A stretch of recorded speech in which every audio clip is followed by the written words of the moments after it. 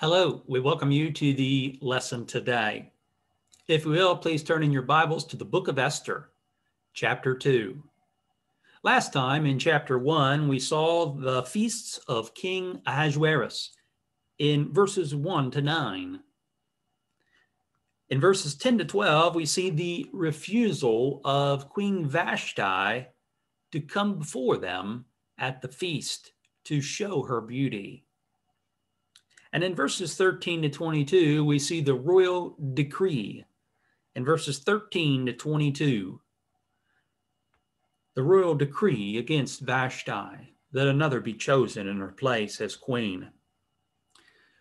Beginning with verse 1, verses 1 to 18, we see how the king made Esther queen. You remember in Esther 1 and verse 12, but Queen Vashti refused to come at the king's command brought by his eunuchs. Therefore, the king was furious, and his anger burned within him.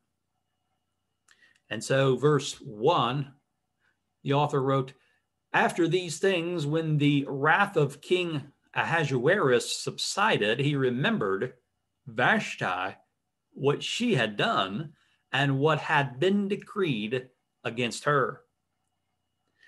And so the author wrote, after these things. This appears to be sometime after the royal decree of King Ahasuerus against Vashti in chapter 1, verses 13 to 22. By this time, his wrath had subsided, and he remembered Vashti, what she had done in refusing to come, and what he decreed against her. In chapter 2, verse 2, then the king's servants who attended him said, Let beautiful young virgins be sought for the king. And so the servants of King Ahasuerus suggested that these women be sought for the king. He could order his officers to search for women who would please him. Verse 3 And let the king appoint officers in all the provinces of his kingdom, that they may gather all the beautiful young virgins to Shushan, the citadel, into the women's, women's quarters under the custody of Hegai, the king's eunuch, custodian of the women, and let beauty preparations be given them. And so the servants suggest to the king that he could appoint officers in all the provinces of his kingdom Remember, there were 127 provinces of Persia. That they would bring the women to Shushan, the citadel, into the women's quarters. Hegai, the king's eunuch, was said to be the custodian of the women. He would guard, that is, watch over and protect these women. He said the servants suggested that the women could be given beauty preparations. The term suggests a cleansing. And so this would include some cleansing rituals. Uh, some versions suggest cosmetics, but we see at the very word that the idea of cleansing is included in these beauty preparations. So perhaps the cleansing and along with the cosmetics. But we see that these preparations could be given to these already beautiful young women and so they could be brought to the women's quarters. Verse 4 Then let the young woman who pleases the king be queen instead of Vashti. This thing pleased the king, and he did so. So the servants suggest to the king, King Ahasuerus, that he could choose the young woman who pleased him to be king or to be queen. We see from the text that King Ahasuerus was pleased by the suggestion of his servants, and he did as was suggested. suggested. It was always his choice as king. Verse 5 In Shushan, the citadel, was a certain Jew whose name was Mordecai, the son of Jair, the son of Shimei, the son of Kish, a Benjamite and so Mordecai's ancestor his ancestors are indicated in this passage. It says here that there was a Jew in Shushan whose name was Mordecai, and it describes his lineage. It describes the ancestors of Mordecai, how that he was a Jew of the tribe of Benjamin. He was a Benjamite. Kish had been carried away from Jerusalem with the captives who had been captured with Jeconiah, the king of Judah, whom Nebuchadnezzar, the king of Babylon, had carried away. Verse 6, we see Mordecai's ancestor Kish was carried away by Nebuchadnezzar, the king of Babylon. Now, this occurred some more than 100 years prior to the events of this chapter with the fall of Jerusalem in 586 BC. So, more than 100 years earlier, uh, we see the people being carried away by Nebuchadnezzar to Babylon. And so at that time, Babylon, uh, Nebuchadnezzar ruled in Babylon. Now, later on, we see in, in this book how that King Ahasuerus ruled in Persia, the Persian Empire of the day. And so, about 100 years prior to the events, we see listed here that this had been, these people had been carried away from Jerusalem. Uh, note that in the New King James, the term Kish has been provided by the translators. Uh, the italic type indicates that the term is not in the original Hebrew or Aramaic. Uh, however, the translators, translators evidently thought that the text referred to Kish, and so they added the name for clarity. Uh, the text is literally who, who had been carried away. Um, however, most likely Kish is indicated here in this passage as provided. Uh, possibly it could refer to any, any of the ancestors. Uh, given the, the long passage of time since they were carried away by Nebuchadnezzar, the person in view was, was most likely not Mordecai, unless he was very old, uh, but most likely his ancestor, such ancestor as Kish. Verse 7. And Mordecai had been had brought up Hadassah, that is Esther, his uncle's daughter, for she had neither father nor mother. The young woman was lovely and beautiful. When her father and mother died, Mordecai took her as his own daughter. And so Mordecai brought up Hadassah, that is Esther. And so that was her Jewish name. Uh, she was Mordecai's uncle's daughter. That would make Esther a cousin to Mordecai. When her father and mother died, Mordecai, her cousin, Mordecai took his cousin, Esther, as his own daughter. The author of the book described Esther as being a young woman who was said to be lovely and beautiful. She must have been a very young woman or young uh, girl when her father and mother had died, as she was a young woman at this time. And her cousin Mordecai brought her up as her as his own daughter. The father of Esther, by the way, according to Esther 2 and 15, was Abihail. Verse 8 So it was when the king's command and decree was heard, and when many young women were gathered at Shushan, the citadel, under the custody of Hegai, that Esther also was taken into the king's palace, into the care of Hegai, the custodian of the women. And so the decree was to gather all the young virgins to Shushan, the citadel, into the women's women's quarter and under the custody of Hegai, the king's eunuch, custodian of the women, according to chapter 2 and verse 3. When the king's decree was heard, Esther was taken to the king's palace into the care of Hegai. Verse 9 Now the young woman pleased him, and she obtained his favor. So he readily gave beauty preparations to her besides her allowance.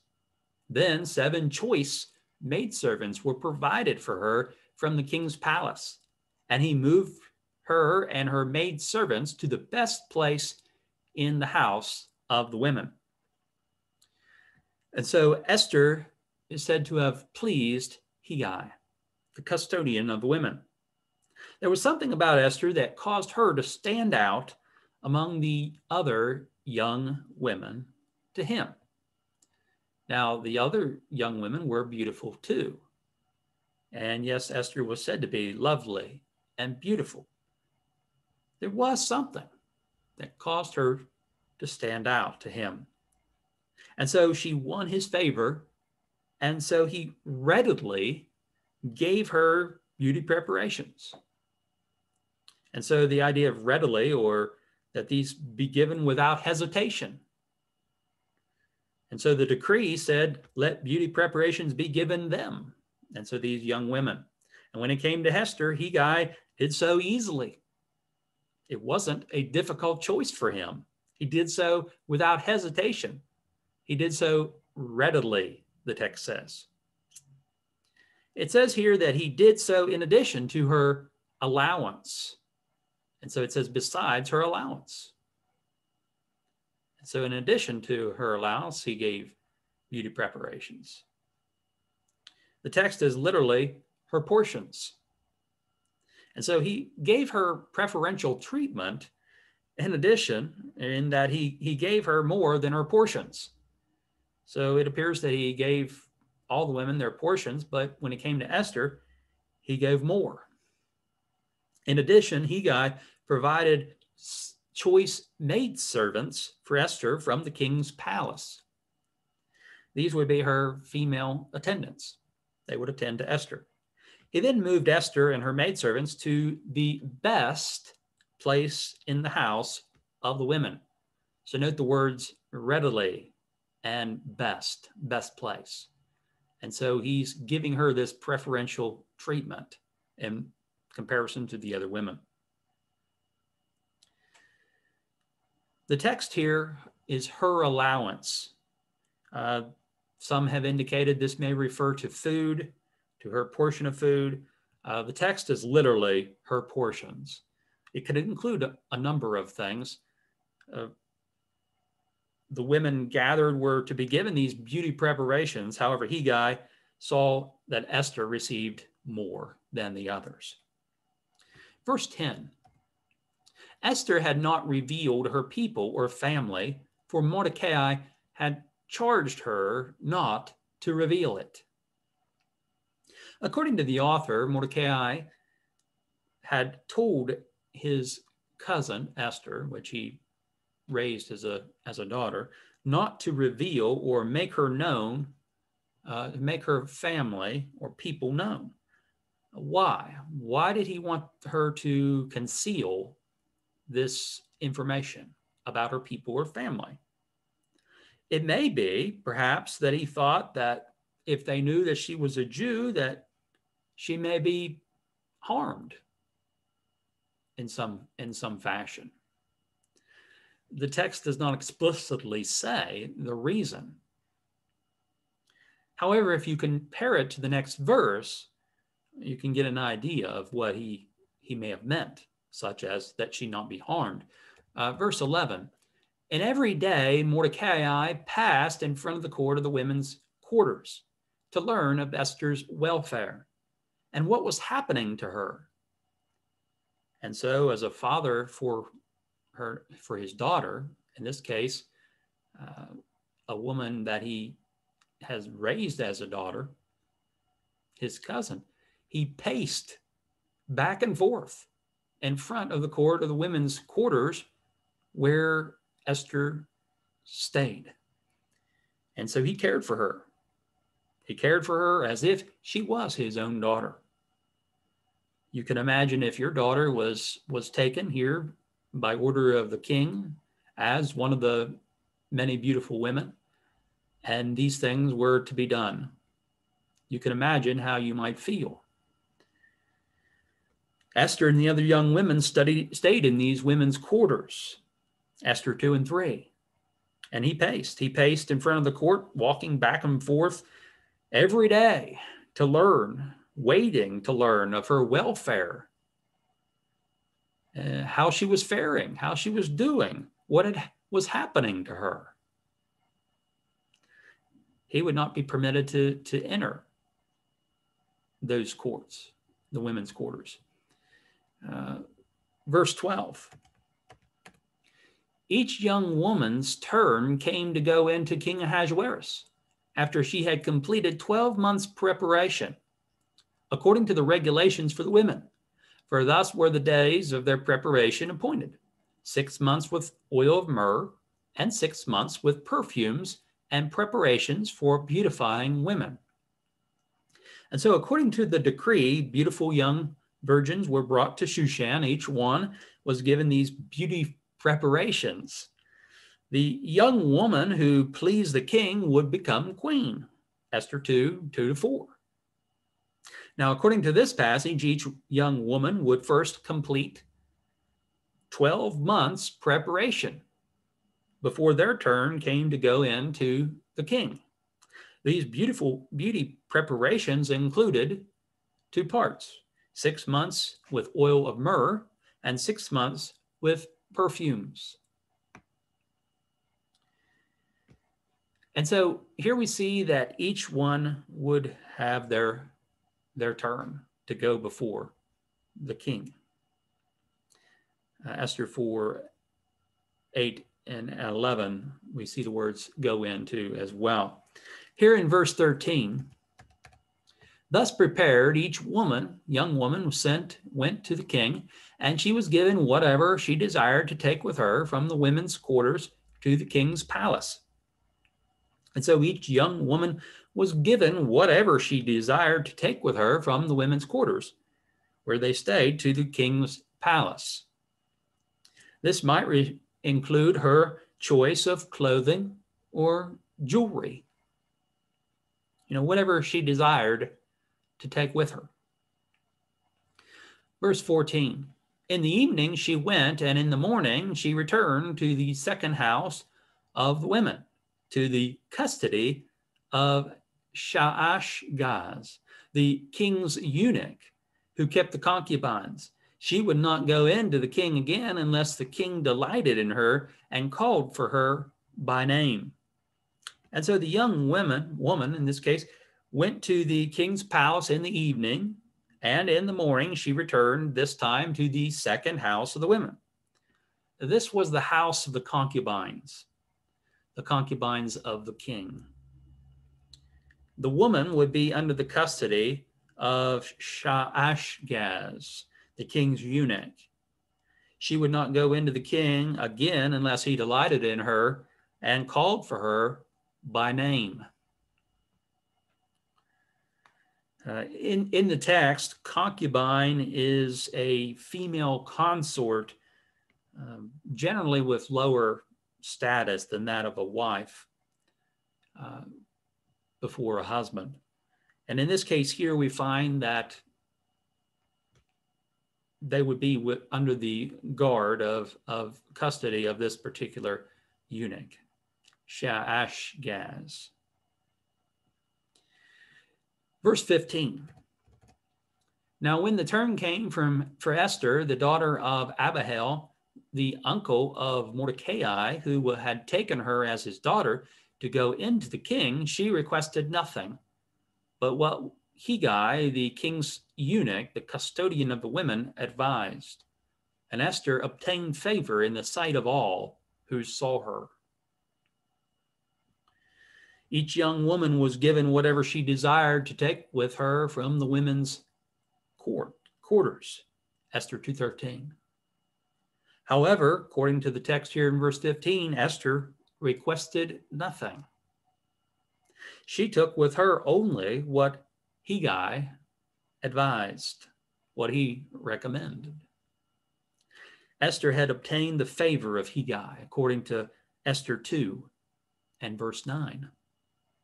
Remember how he gave her preferential treatment. Now we read how she obtained favor in the sight of all who saw her. And so not only Hegai, favored her, but others, all who saw her, favored her. There was something about Esther. We see here in Esther her, her modesty. She requested nothing, nothing in addition to what was given other than what was recommended by Hegai. We see here that she was not she was not here by choice. She, along with the other women, were were gathered. The beautiful young women were gathered, and then the king would choose from these women who pleased him. In this case here, she requested nothing. But we see the favor that she garnered from others, from the king's eunuch Hegai to everybody who saw her. But what about the king? Verse 16, of course, Mordecai cared deeply for his daughter and her welfare. He paced back and forth every day when she was there, wanting to know of her welfare and, and what she was doing, what was happening to her. It must have been terribly hard on him as well as her. Him not knowing what was going on, not being permitted to be there with her when he had been with her during her, her life and raising her and bring, bringing her up. Verse 16 So Esther was taken to King Ahasuerus into his royal palace in the 10th month, which is the month of Tebeth, in the seventh year of his reign. Esther was taken to King Ahasuerus, it says the 10th month. The 10th month was Tebeth. This would been this would have been in early winter. The summer was very hot in this place. And so we see here that they met early in the winter. The month Tebeth is the 10th month of the Jewish year, which corresponds to our about to our January. And so the seventh year of the reign of King Ahasuerus, and if this Ahasuerus is Xerxes, this would place it about 479 BC.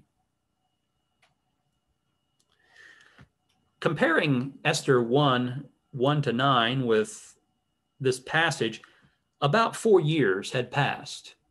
About four years had passed since the first chapter, since the feast of Ahasuerus since the refusal of King Queen Vashti to appear to show her beauty off to the king.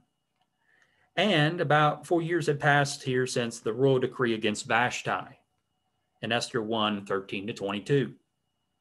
The period of time was from the third year of his reign in Esther 1 3 to the seventh year of his reign of Persia in Esther 2 and verse 16. And so that would place the time period being about 483 BC to 479 BC. In Esther 2, in verse 17, it says, The king loved Esther more than all the other women, and she obtained grace and favor in his sight more than all the more than all the virgins. So he set the royal crown upon her head and made her queen instead of Vashti. The author said that the king, King Ahasuerus, loved Esther more than all the other women. And so, of all the women who were brought to him, he loved Esther more than them all. The term translated here as love has a wide range of meaning in the Old Testament. In this context, we see that the term refers to how she pleased him. The decree in Esther 2 4 then let the young woman who pleases the king be queen instead of Vashti. We see here in Esther that Esther obtained the favor of Hegai the custodian in Esther 2 and 9, and that she obtained the favor of all who saw her in Esther 2 and 15. And now we see that she also obtained, more importantly, the grace and favor of the king, King Ahasuerus. The term grace here has the meaning of being that she pleased or made a favorable impression upon the king. As such, the king showed her favor, which is often translated in the Old Testament as mercy or kindness. And so Esther pleased Ahasuerus, the king, and so he set the royal crown on her head and made her queen instead of Vashti. Again, in the book of Esther, the term love is has a has various meanings throughout the through the Old Testament in different ways, such as used later with the term friends in Esther 5 and 10 and chapter 5 and 14 in relation to the family of Haman. And so we see here that King Ahasuerus was attracted to, to Esther. And so he favored her. She obtained grace and favor in his sight. And so he showed her this favor, this kindness or mercy. In chapter 2, in verse 18, then the king made a great feast, the feast of Esther, for all his officials and, and servants. And he proclaimed a holiday in the provinces and gave gifts according to the generosity of a king. And so, after King Ahasuerus, king of Persia, made Esther queen, he made a great feast. Again, Persia was the great empire of the day. This is also translated banquet. And so this feast or banquet. And you see it, the same term translated banquet later, such as in Esther 5 4, uh, Esther 5, chapter, uh, chapter 5, verse 4, 6, 8, 12, 14, etc. Um, and so this great feast or banquet. And so the banquet was called the Feast of Esther. And so he held the feast for all his officials and his servants. To celebrate, the king proclaimed a holiday in the provinces. Again, remember there were 127 provinces. This was an official day of, of Esther, official day of, of rest. This may have been a, this term may have been a, suggested a release from or rest from taxes. And so when he talks about holiday, the term um, refers to a release or to a rest. And so perhaps some have suggested a rest from tribute or paying tribute, paying taxes at that time, that holiday. And so the text also reads that he gave gifts. And so such a holiday with, with the feast of Esther would have made her certainly more liked by all the people. And so he proclaimed a holiday and he gave gifts according to the hand, the generosity of a king. Second, we see in Esther 2 19 to 23 how Mordecai foils the plot to kill the king. Verse 19 When virgins were gathered together a second time, Mordecai sat within the king's gate. And so here we see that it was the second time, or at this time, that Mordecai sat within this king's gate. He was serving at the king's gate of the palace in the Shushan, in Shushan, the citadel. Verse 20. Now Esther had not revealed her family and her people, just as Mordecai had charged her. For Esther obeyed the command of Mordecai as when she was brought up by him. And so Mordecai told Esther not to reveal that she was a Jew. She obeyed him, even as she had obeyed him when he raised her, when he brought her up. Esther 2 in verse 7 When her father and mother died, Mordecai took her as his own daughter. He cared deeply for Esther. He worried about her. He helped her in every way he could. In Esther 2, in verse 10, we saw how that Esther had not revealed her people or family, for Mordecai had, char- had charged her not to reveal it. When he talks about obeyed the command of, Est- of, of Mordecai, as when she was brought up by him, uh, this reminds me of the commandment, the fifth commandment of the Ten Commandments of the law of Moses. Exodus 20 and verse 12 honor your father and your mother. No, Mordecai was not actually Esther's father. However, he was like a father. He was a father to her in that sense. He brought her up, he cared for her. Honor your father and your mother. And so here we see that Esther did honor her father, that is, her cousin who acted as a father to her, Mordecai. We note from the Old Testament, from the law, that Israel was commanded by Moses to fear God and to keep his commandments. Now, as a Jew, Mordecai should have taught Esther these words. Now, the text of Esther does not explicitly mention God, for instance, the name God or the Lord. However, we see it in his province. And we'll talk more about the province of God as we get into uh, later chapters of Esther. But the things that are happening, keep in mind that these things are not just happening by accident. We see God working behind the scenes. We see the wisdom, the province of God in these events. And so Israel, as I mentioned, was told by Moses to fear God and keep his commandments. And as a Jew, we note that Mordecai, even though it doesn't say in Esther, would have taught Esther these words. Deuteronomy 6, 4 to 7, for instance. Hear, O Israel, the Lord our God, the Lord is one. You shall love the Lord your God with all your heart, with all your soul, and with all your strength. And these words which I command you today shall be in your heart. You shall teach them diligently to your children, and shall talk of them when you sit in your house, when you walk by the way, when you lie down, and when you rise up.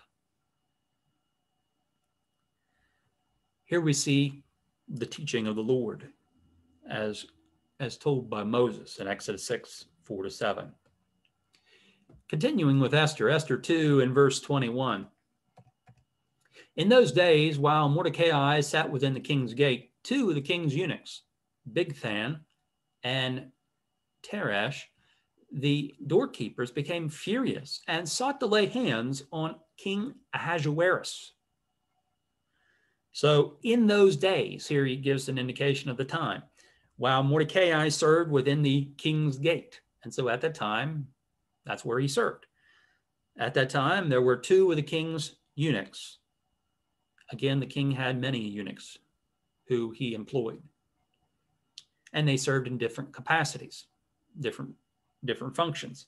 In this case, we see that these two eunuchs became angry, furious with King Ahasuerus. So much so that they plan to lay hands on him, uh, lay hands on or to, to kill him. Bigthan and Teresh were doorkeepers. And so they were those who guarded the door. Given the behavior of the king, from what we see here uh, and read elsewhere, these men were probably not the only people to be angry with him, with the king. He was not a good man, this Persian king. The text does not say why they were furious with the king, only that they sought to lay hands on him. Would they be successful? Well, we'll see in a moment.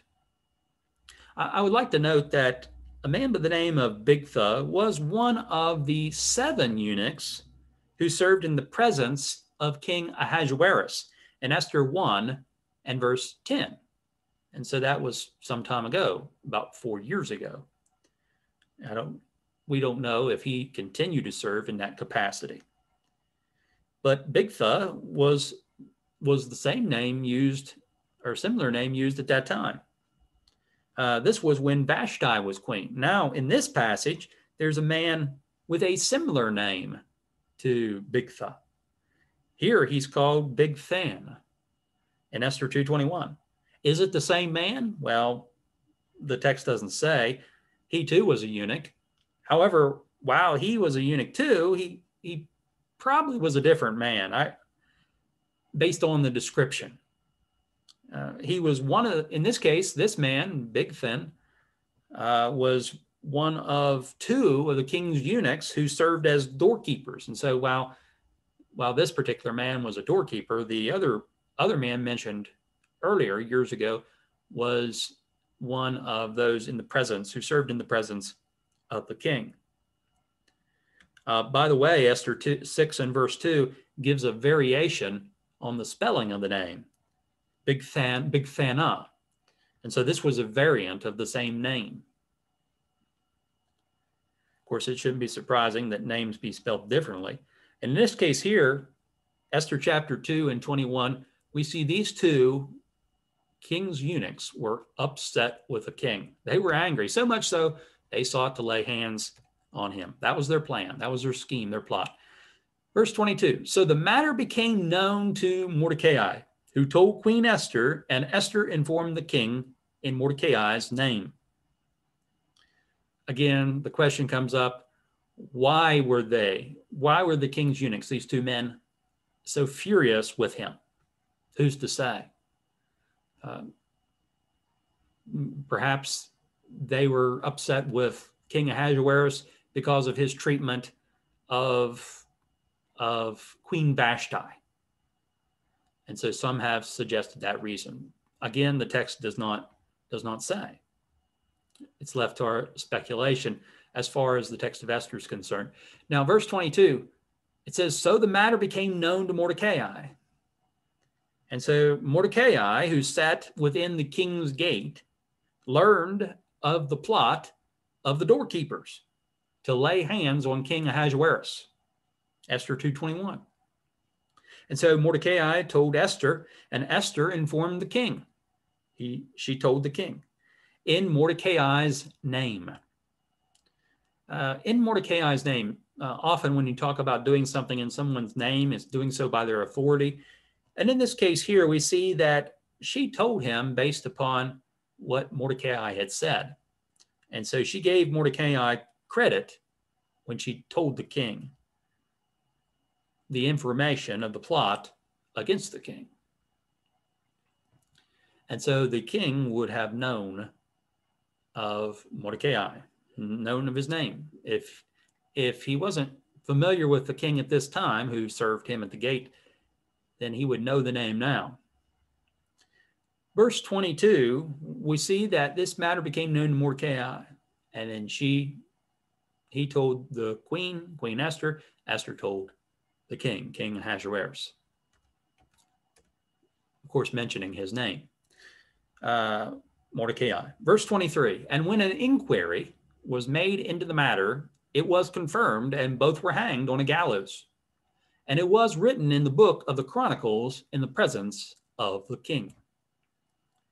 And so this brings us to our last passage today in the in in this chapter we see that the king ordered an inquiry be made into the matter. And so he ordered an investigation. He had a witness who said he heard of a plot to lay hands on him. And so he orders an inquiry to learn this information, to, to make an investigation into the matter, into the plot, into what happened. And the results was that it was confirmed. The matter was confirmed. And punishment, they were killed. He says both were hanged on a gallows. And it was written in the book of the Chronicles of the Presence in the presence of, of the king. And so these, these men, Bigthan and Teresh, were hanged on a gallows. The matter was recorded in the book of the Chronicles, of records of the kings of Media and Persia in the presence of King Ahasuerus. Esther 10, verse 2. The account included how Mordecai had told of Big Than, Bigthana, and Teresh, who sought to lay hands on King Ahasuerus. We see that later in chapter 6 and verse 1. And so this, this book of the of these events included not only of the plot, but who foiled the plot, Mordecai. Uh, I would like to mention here the the text reads hanged on a gallows. Some versions may read differently here. Uh, this described a structure from which criminals were, were hanged, these gallows. Uh, other versions read the same. Uh, however, older versions, older translations read hanged on a tree. Literally, the Hebrew refers to a tree or to wood. And so uh, some refer to being hanged on a tree or explained as being hanged on a gallows. And so uh, the idea uh, that these two men were punished for their crime. One version reads impaled on poles.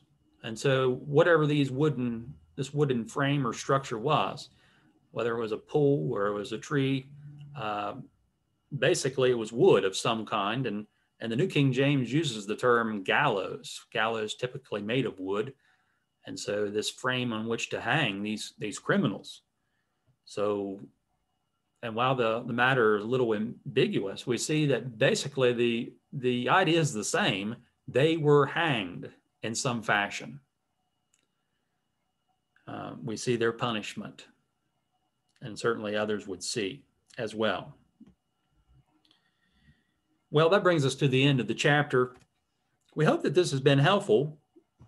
We've we've determined to to stay with the text as much as we can in studying. We at times will look at information outside of the Bible, but for the most part, we're focusing on the words of the text itself, particularly from the New King James Version, which is the case of all, our, all, all of our studies in this program. And so we invite you to continue to study on your own and, and invite you to come back next time as we continue our study of the book of Esther with chapter three. Thank you for being here today.